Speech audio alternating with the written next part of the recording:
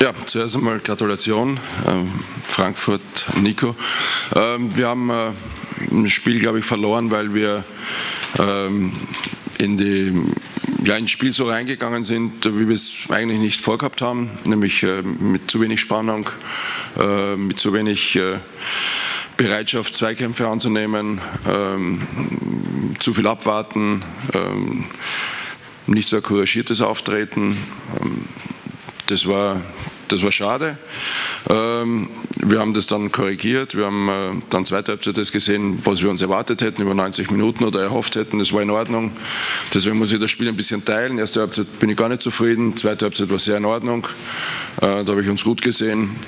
Und ähm, sind wir halt auch vielleicht nicht belohnt worden äh, in, in, der Phase, wo wir ein paar Möglichkeiten gehabt haben mit dem Ausgleich. Ähm, aber ist vielleicht auch in Ordnung so, dass wenn man ähm, ein Spiel macht, das nicht über 90 Minuten aus unserer Sicht gefühlt gut ist, dann soll man hier oder, oder nimmt man hier zumindest, da kann man mal einen Punkt mit und vielleicht ist das auch in Ordnung so. Dankeschön. Ja, vielen Dank zunächst Peter Stöger. Nico, wie hast du das Spiel deiner Mannschaft gesehen? Ja, erst einmal nehme ich die Glückwünsche an. Danke, äh, Peter. Der, der Punkt ist ja der, der Peter hat ja alles gesagt. Ähm, ich war erste Halbzeit zufrieden eher nicht und umgekehrt war es auch. Also die zweite Halbzeit äh, haben wir uns zu sehr reindrängen lassen. Der Gegner hat äh, einiges verändert, hat äh, dann hinten mit der Dreierkette aufgebaut, hat den Hector reingeschoben. Da hatten wir ein bisschen Probleme, wollten aber kein Risiko eingehen, um, um Hasebe dann auch nach vorne zu schieben, weil wir wussten, dass ähm, jeder offene Ball, also sprich, wenn der Gegner keinen Druck hat, sofort in die Tiefe gespielt wird. Äh, wir wollten die Mitte nicht preisgeben. Das Problem war dann letzten Endes, äh, weil wir keinen Druck nach vorne gemacht haben, also sprich den Gegner unter Druck gesetzt haben, wenn er den Ball hatte. Wir haben uns zu sehr seitlich bewegt, beziehungsweise dann nach hinten drängen lassen und so wurde der Druck in der zweiten Halbzeit immer größer. Wir haben das Spiel gewonnen, glaube ich, weil wir dann das Quäntchen Glück auch hatten, aber die Mannschaft hat auch eine sehr gute Moral bewiesen. Trotz ähm, der Tatsache, dass wir so unter Druck standen, hat jeder dort gekämpft, auch die, die reingekommen sind und ähm, deswegen bin ich sehr froh. Vielen Dank, Nico. Ihre Fragen an beide Trainer mit der Bitte kurzes Handzeichen. Keine Fragen? Gut analysiert. Doch, Martin, Martin Quast. Herr Stöger, das ähm, Spiel endet ja nichts daran, dass Köln eine super Runde spielt, Eintracht Frankfurt auch bisher.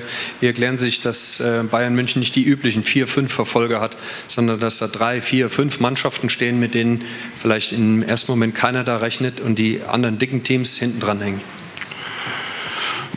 Ja, das, das liegt an den anderen Teams. Ja, also dass, äh, dass, dass äh, die Frankfurter und wir da, da, vorne stehen, wenn wir jetzt mal schauen, ist es äh, sind das wahrscheinlich die zwei größeren Überraschungen noch.